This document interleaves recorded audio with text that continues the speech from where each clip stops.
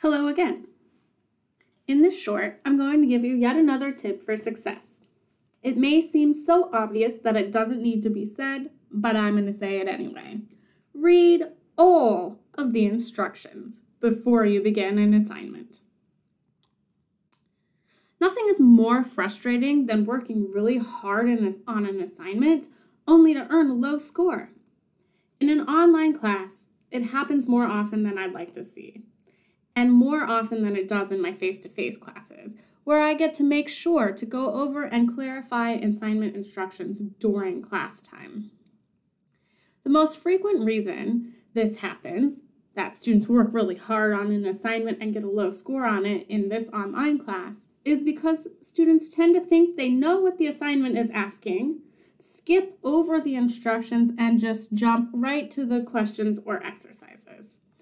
But in skipping over the assignments instructions, students often miss many of the specific things I am grading for and the specific things that I want you to do, such as including quotations with page numbers and timestamps, defining terms in certain ways, applying concepts from handouts or readings, following a specific format or template, and so forth.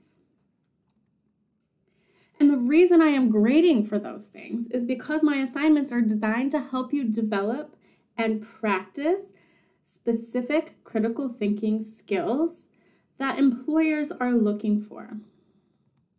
They're also meant to help you design and practice specific communication skills that your future employers are looking for.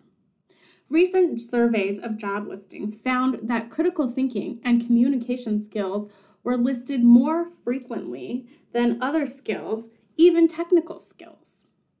My assignments aim to help you develop these human skills, these critical thinking and communication skills, by giving you structured writing tasks and communication exercises. For example, we're all aware of the messy, freewheeling, discordant state of so called public discourse and debate on social media. When we debate issues on social media, it's just this crazy people throwing stuff around all over the place, talking past each other, talking past the issues, kind of mess.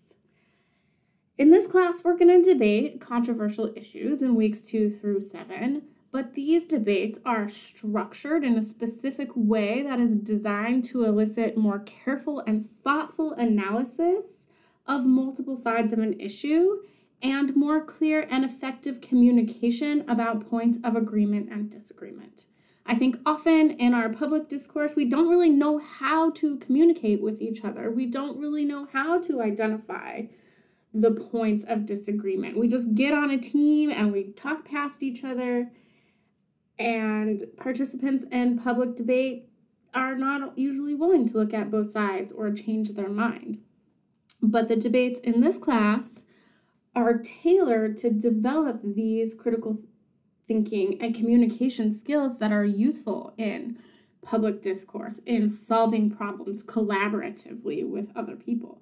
But if you skip the instructions and don't follow the structure, uh, you're going to go in with the mindset that the debate is just kind of like an online debate in a social media platform. You're going to state your opinion on an issue and say your piece, but not really necessarily practice the specific skills the assignment is designed to help you practice.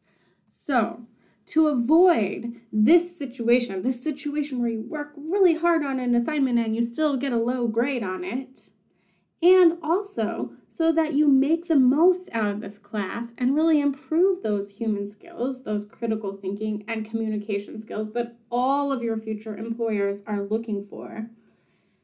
Be sure to read all of the instructions on each assignment before beginning.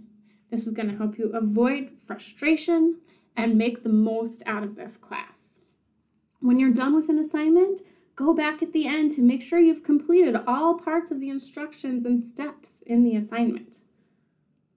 Again, that's just going to help you avoid a frustration and get more out of the class.